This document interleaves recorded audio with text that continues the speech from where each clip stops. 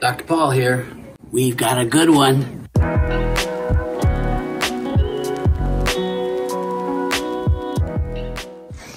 Yeah, I'll put the books back. Hi, Dr. Hi, Thomas. how are you? It's good to see you again. And I hear you got something going on with your foot. So something was going on for a couple months. Mhm. And has it been getting bigger? No. It just boom was like that two months ago. Uh, it's actually been. Well, yesterday the top of it come, came off, but Huh. it's been like it with the top for Yeah. a while now.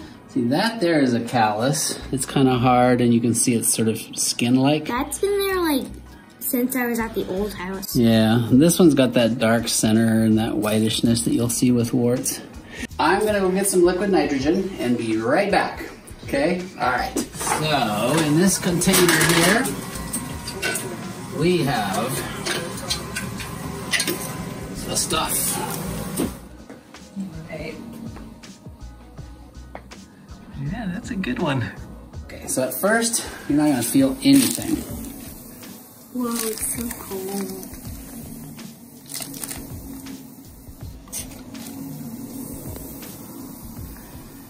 So eventually, we're gonna start freezing it so it turns white. Hmm, It's um, it's looking whiter. Much colder. You starting to feel the coldness? Mhm.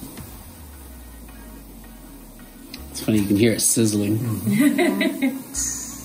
People like Call Colin Ski and um, Preston do stuff like this, well, with liquid nitrogen, but not to uh, patients or something. Really? Do crazy experiments. On YouTube? Yeah, on YouTube. Oh my goodness. Colin Ski has a whole channel on it. Wow. You know a lot about YouTube. Maybe someday you'll have a channel. Probably not. You don't think so? Yeah. When you're like a almost a grown up.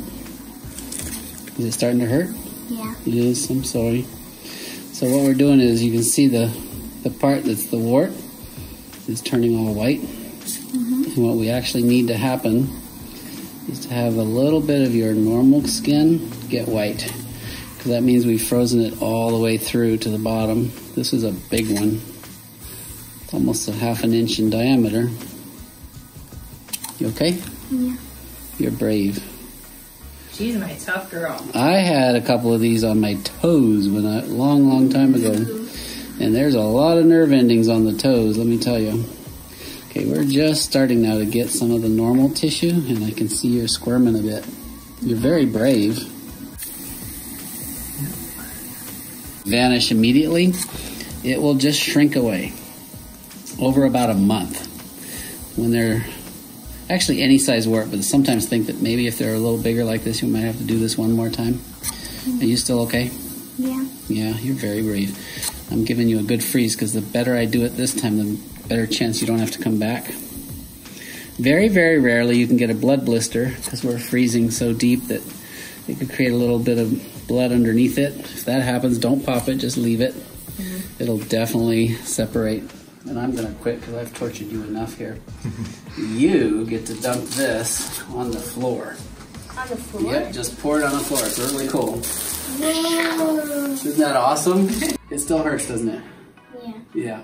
It hurts pretty bad for about 10 minutes, Okay. and then it's just gonna be a little annoying to walk on for a day or two when you do that deep of a freeze. And then we'll see you again in a month if it's not gone.